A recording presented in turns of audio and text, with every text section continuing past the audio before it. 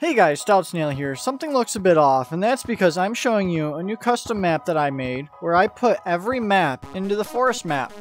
So you have some different sections here. So mainly it's still forest. Uh, you can't go anywhere through the holes, they're still there. But when you come over to the edges, you'll find some more stuff. Like over here, near the secret tunnel, I put the igloo.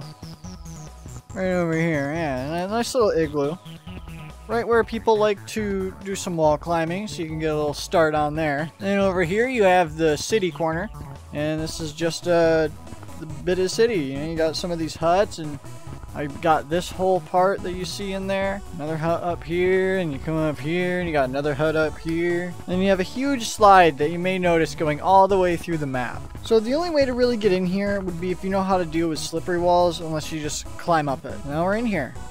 Let's go! Looks like the lighting's pretty weird, which I could kind of expect with how weirdly I had to put together this slide.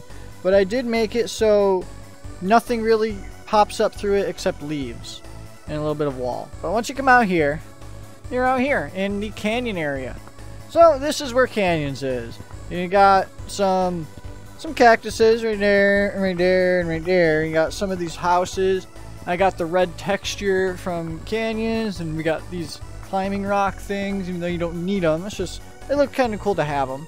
And you got a higher one up there, because you got to have a high vantage point.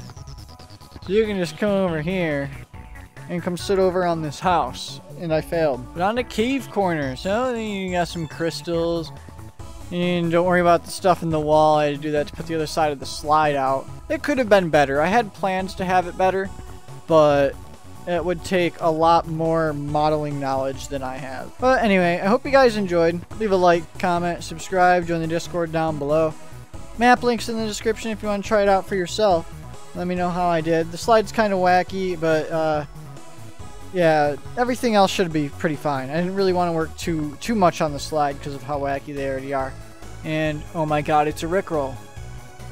Hope to see you guys in the next video. Goodbye.